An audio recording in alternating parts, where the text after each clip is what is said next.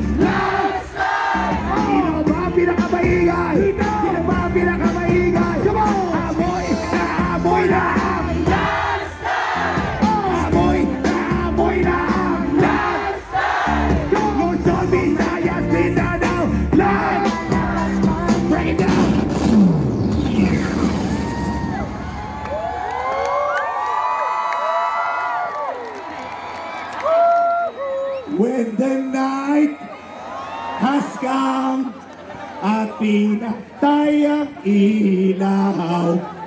O madalas lumalabas. Banyo queen. O bongbong Sara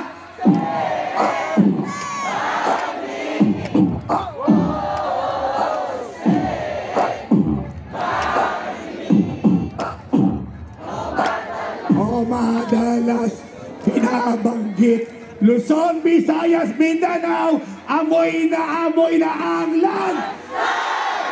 Sabi ni Andrew. Maraming pong salamat. Thank you very much. God bless the Philippines. Thank you. Mga kaibigan, sobrang saya na kayo naman ay susuklian ko ng pagpapakilala sa isang taong alam nyo, kaninang, kanina nyo pa hinihintay. Buksan ang mga ilaw, mga kaibigan. At kayo ay kapantay na ng kasaysayan. Buksan ang mga ilaw.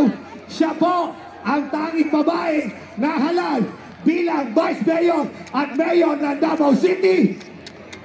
Siya po, mga kaibigan, ang tinaguriang top performing mayor sa buong Pilipinas. Siya po, mga kaibigan, ang agila ng Davao City. Ang susunod nating iluluklok bilang Vice Presidente ng Pilipinas. Pilipinas, welcome, Inday Sara! Duterte!